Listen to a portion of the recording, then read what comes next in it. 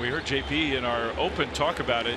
You can put the category, put the hitters for Venezuela in two categories. The guys who really have been swinging the bat well, and the guys who haven't all have good numbers against Lynn. Arraez to deep right field.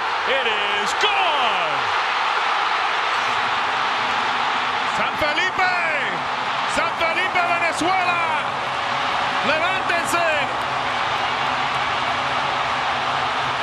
Luis Arraez is here.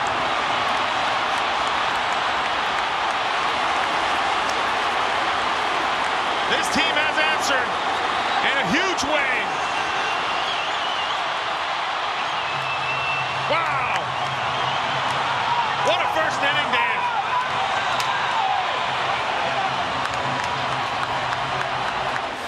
We take a look at this homer. Little baby cutter just doesn't cut.